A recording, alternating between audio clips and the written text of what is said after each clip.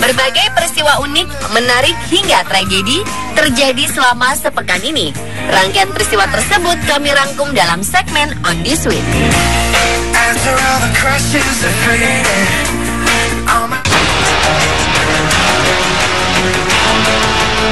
Seorang pria Tiongkok yang belum diketahui identitasnya tewas terjatuh dari ketinggian 30 meter. Saat ditemukan, jasadnya memegang tongkat swafoto atau selfie dan ponsel. Tubuh pria ini ditemukan di sungai mengalir dekat air terjun Longmen, Tiongkok. Polisi setempat mengatakan pria naasnya terjatuh ketika bersuah foto dari ketinggian dan hendak mengunggah foto tersebut. Ia kemudian kehilangan keseimbangan dan terjatuh.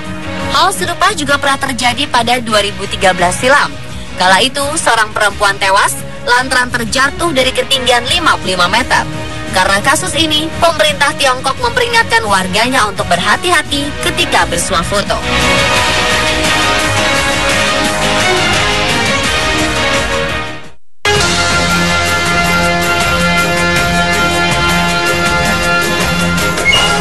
Kementerian Maritim Malaysia mengatakan 14 tenaga kerja Indonesia atau TKI tewas akibat kapal yang mereka tumpangi terbalik. Kapal ini berupaya keluar dari wilayah negeri jiran mengangkut para buruh migran tanpa dokumen resmi. Dari 14 korban tewas, 13 di antaranya adalah perempuan. Kapal pembawa imigran asal tanah air ini bertolak dari Sabak Bernam di Selangor, Malaysia menuju ke Sumatera. Sementara 15 orang lainnya dinyatakan selamat dari peristiwa ini.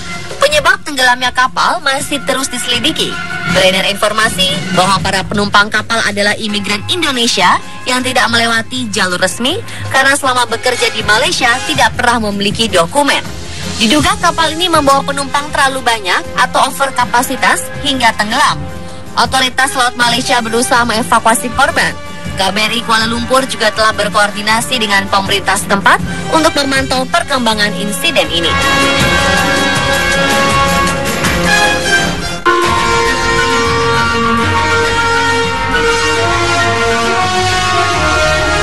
Perempuan bermarga uang ini sepertinya tengah tak berkonsentrasi ketika makan mie.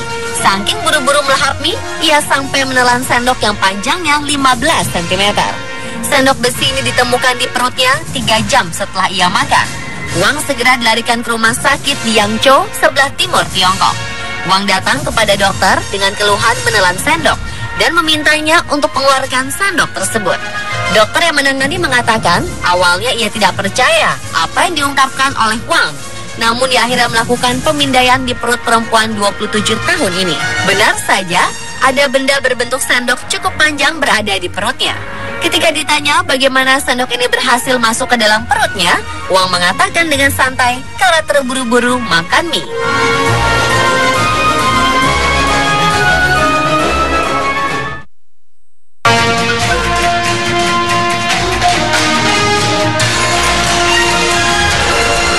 Seorang bocah asal Rusia bernama Jenis Alexandrov 12 tahun menemukan jejak kaki berukuran raksasa ketika sedang berkemah di Siberia.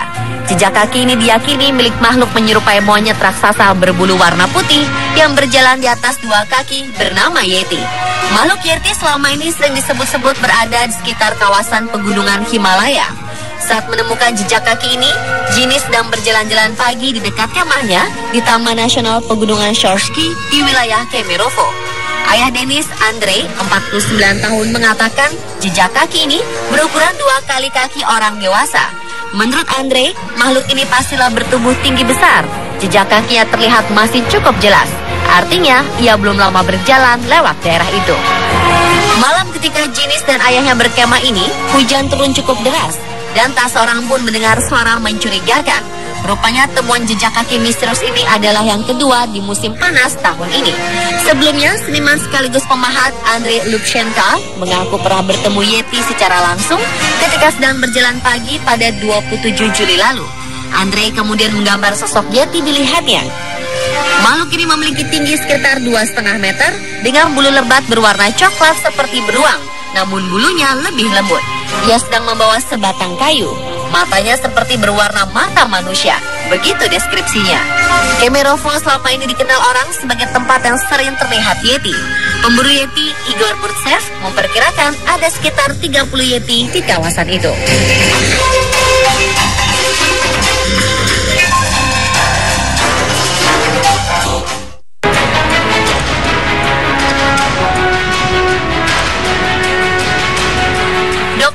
Spesialis kandungan di Rumah Sakit Umum Johor Baru Malaysia memicu kontroversi yang kedapatan bersuah foto atau selfie saat membantu proses persalinan. Fotonya menyebar ke jejaring sosial dan mengundang kecaman publik. Tidak diketahui apakah pasien di sebelahnya telah selesai melahirkan atau belum. Aksi dokter berusia 20-an ini langsung mengundang keprihatinan Kementerian Kesehatan Malaysia. Nama dokter ini tidak diungkap oleh otoritas terkait, namun ia langsung diperiksa oleh Dewan Etik. Pengguna internet di negeri jiran menilai sang dokter bertindak sembrono karena berfoto saat sedang tugas. Selain itu, dokter serta orang-orang yang menyebar gambar ini dianggap menerabas privasi pasien. Kabarnya foto kontroversial itu diambil oleh perawat yang bertugas bersamanya.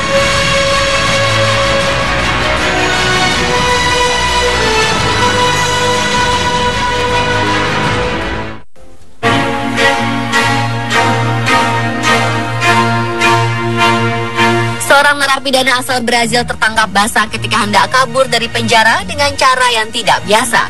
William Alves sudah merencanakan matang-matang aksinya. Ia nekat masuk ke dalam tong sampah dan bersembunyi di dalamnya untuk waktu yang cukup lama. Alih-alih berhasil, rencana kaburnya Alves justru gagal total. Ketika seorang petugas ingin memindahkan tong sampah yang diketahui berisi Alves. Tong sampah yang lebih berat dari biasanya membuat petugas curiga akan sesuatu yang ganjil. Benar saja, ketika tutup tong sampah dibuka, tampaklah Alves sedang meringkuk bersembunyi. Juru bicara penjara Union Sinspet mengatakan bahwa aksinya cukup kreatif. Kini, Alves kembali mendekam di selnya dan tengah menjalani investigasi seputar niatan kabur tersebut.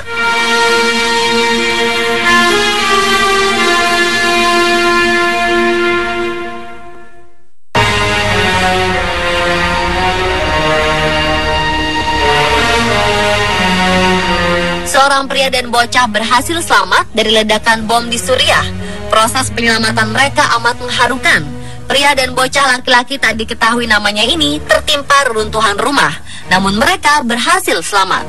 Penyelamatan keduanya membutuhkan waktu dan tenaga karena mereka tertimbun di reruntuhan dan banyak batu serta pasir. Serangan bom ini terjadi di Sakba, sebelah timur Gota. Dilaporkan, dua warga sipil tewas akibat serangan bom tersebut.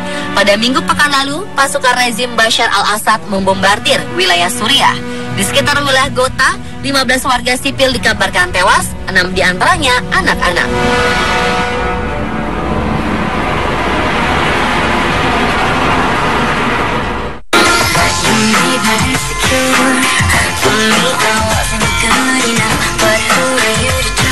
Pasangan yang telah sukses berkeliling dunia dan mengunggah pelbagai pemandangan menakjubkan di tiap tempat yang dikunjungnya ini mengungkapkan sebuah rahasia.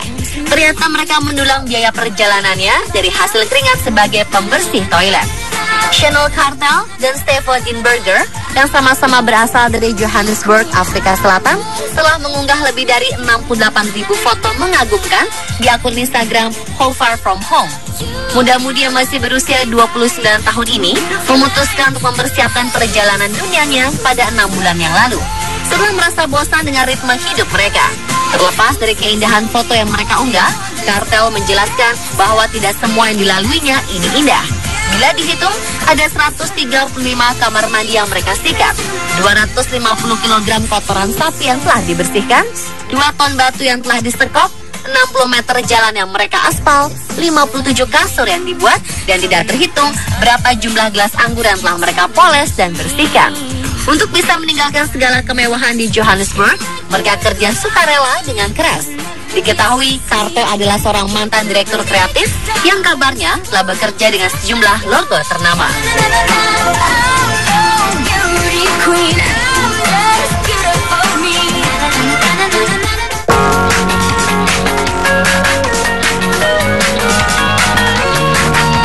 Dua orang petani menemukan seekor domba berbulu lebat yang beratnya mencapai 20 kg. Ia diberi nama Sean the Sheep, seperti nama tokoh kartun. Menurut penuturan kedua petani ini, Sean mengembara di padang gurun Tasmania selama beberapa tahun. Otomatis ia terhindar dari ritual potong bulu. Sean jantan berusia 6 tahun ini ditangkap di semak belukar. Ia tidak bisa melihat dengan baik lantaran bulu woolnya menutupi wajah. Dilihat dari kalung yang dikenakan Sean, ia berasal dari sebuah peternakan yang jaraknya ratusan kilometer di pantai timur Tasmania. Ini berarti ia telah berkelana di negara bagian itu selama bertahun-tahun untuk mencapai tempatnya saat ini. Selain bulu wool yang dimiliki Sean, hal menakjubkan lainnya adalah ia mampu bertahan hidup di alam liar dengan sangat lama. Karena biasanya domba-domba akan kelelahan dan tidak bisa bangun atau mereka mati kepanasan. Saat ini, rekor dunia untuk bulu domba tertebal dipegang oleh peranakan Selandia Baru bernama Shrek. Pemirsa telah beragam informasi unik dan menarik yang kami rangkum selama sepekan.